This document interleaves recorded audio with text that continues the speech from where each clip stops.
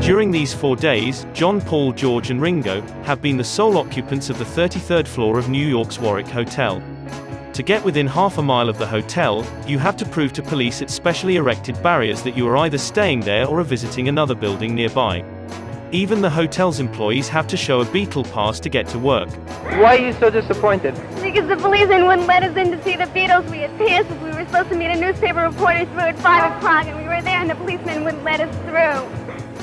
Why do you want to see the Beatles so much? Because we love them. They're great. We love them. They're wonderful.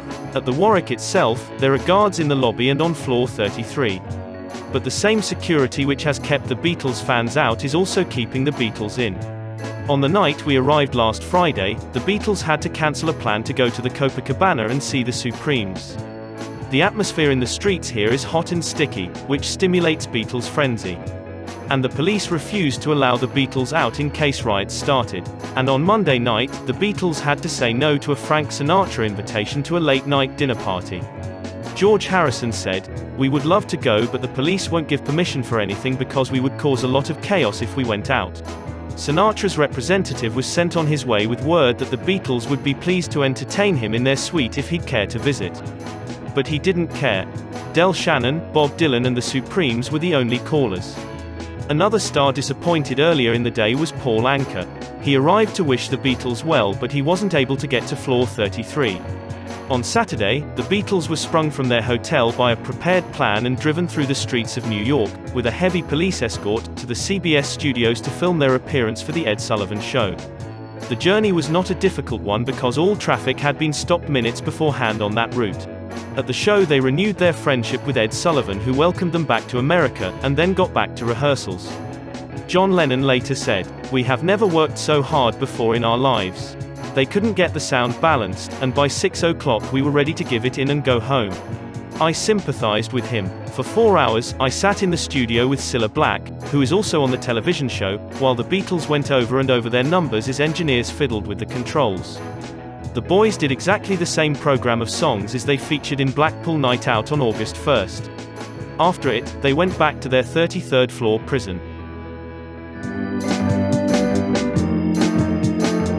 I travelled to Shea Stadium on Sunday night with Mick Jagger, Keith Richards and their manager Andrew Oldham, after spending the day with them on board a luxury yacht called Princess, which belongs to the Stones' American lawyer Allen Klein. During the day I talked with the Beatles over the yacht's radio telephone, and Mick spoke to George Harrison about plans for that evening.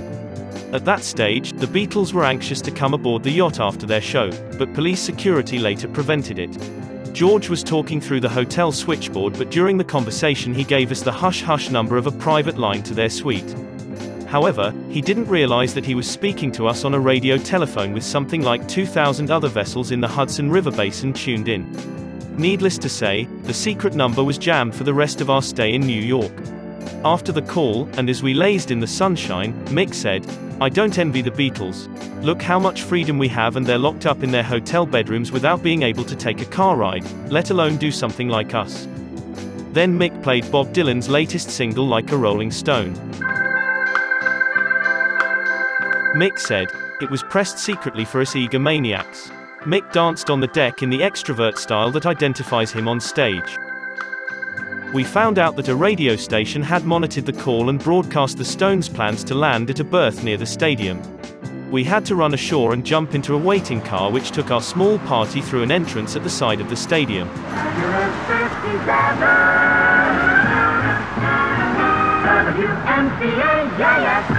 This is John Lennon of the Beatles. There's nothing like WMCA's Good Guys in Liverpool. As our thanks to the Good Guys for spreading Beatlemania in America, we're going to be the first to spread Good Guy Mania in England. WMCA! On our way in, we were to gaze amazed at the 56,000 ticket holders stacked in tiers from the open side of the horseshoe-shaped stadium. The roar of the crowd already enjoying the show was like a dozen jets taking off. Without any doubt it was the greatest most awe-inspiring sight any of us had ever witnessed. We were rushed in through the artist's entrance and met the Beatles, who were standing ready to go on stage. Oh, it's the famous Stones, John yelled. A harassed cop said. Who are all these people? Nobody can stand in the aisle, there's a fire regulation. George quipped, put it out then. The cop gave in, just as the Beatles were called on stage. They had to run across the baseball diamond to the rostrum in the center. And as they did, 56,000 fans went hysterical. Right here at Shea Stadium on the Dean Anthony Show on WMCA Radio, coming to you on a Sunday night. They're doing now the title tune of their, the first movie, A Hard Day's Night. We knew beforehand that this had to be the Beatles' greatest concert with an audience like that. But nobody could have foreseen the pandemonium unleashed as the four went through hit after hit, building the fevered excitement with each number. The crowd roared approval as Lennon played an organ with his elbow in I'm Down. And many fans broke through the 2,000 strong police cordon around the edge of the baseball diamond only to be brought down in rugby tackles by a new line of guards nearer the stage. It was an unbelievable experience. But it was also a great relief when it all ended. The Beatles are doing their last number of the night. I can't make it out from here. They're doing their final number at the moment. I still can't make out what it is. There was a great tension, not only from the brilliance of the Beatles but from the feeling of apprehension of what could happen if the crowd got out of control. But it was all's well that ends well. The Beatles have left the stadium. They walked off the uh, bandstand, which is located at second base. And I'd say between 30 and 50 people jumped out of the stands. They were quickly subdued by the police. The Beatles were whisked from the bandstand by one of the New York Mets official cars, a white station wagon, back to the left field bullpen. Then they switched from that car into that Wells Fargo red and white armored truck out there. and away they went. I guess they're back on their way to the Hotel Warwick in Manhattan right now. The crowd hasn't moved. People are dismantling the bandstand. And everybody's just standing here, mesmerized by the Beatles, cheering away wildly and having a ball.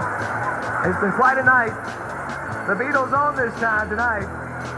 Beatlemania has struck again. In the hotel afterwards, George said, It was terrifying at first when we saw the crowd, but I don't think I have ever felt so exhilarated in my life. It was unbelievable that so many people wanted to see us. Even though we are used to big crowds, this surprised us. John added, It would have been better still if we could have heard what we were playing. I wasn't sure what key I was in in two numbers. It was ridiculous. Paul said, Fantastic. Wonder if we'll ever be able to do it again. Ringo nodded but said nothing. Later, the Stones joined the Beatles in a rave up celebration, back on floor 33.